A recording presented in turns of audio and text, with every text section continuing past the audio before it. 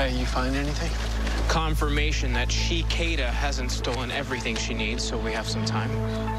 Finally, some good news. Except what she did steal was a quantum tunnel converter. First working prototype of its kind. Yeah, that's the same face Cisco made when he heard. The converter can transform dark matter energy to practical energy. Cicada's gonna use her dagger to superpower the atomizer. If she wants to connect it to the atomizer, the last piece she'll need is a hyperconduit, and those are pretty hard to come by, to say the least. She'll be lucky to locate one in the CC area at all. Well, we better find it first. We'll get to it. De l'eau pour toi, madame? Yeah, take it. Oh, small sips, huh? The second she saw me, she wanted me dead. She tried to kill me, Sherloque. Because of what you are. A magna-kinetic meta-human. Oh, that was something. Your powers, huh? I wanted to tell you, but I didn't know what you'd think.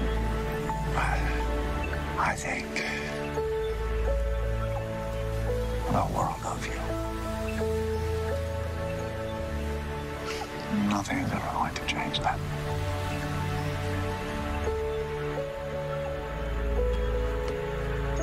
Do you think Cicada's gonna come back again to try to find me? To try again? Yes.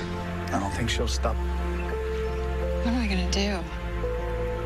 Well, you know what? I believe I can help you with that. Hey, Hey. guys, you okay? Yeah, I, I need to tell you something. When we were running over here, I connected to Grace's mind again. I could see through her eyes. Wait, like the same thing you did when Cicada attacked Alice Boland's birthday party? Yeah, we must still be psychically connected from when I was in Grace's mindscape. That's what caused the red lightning. The anger that you felt, it wasn't yours. It was hers. We can use this. If I can see where she is just for a second, we can run to her. Guys, this is the key to stopping Cicada 2. No. No, Nora, it's too dangerous. We don't even know what the side effects are. We just got this stuff out of you. We're not risking exposing you to that again. Mom, I want to do this. We'll find another way. We'll find another way.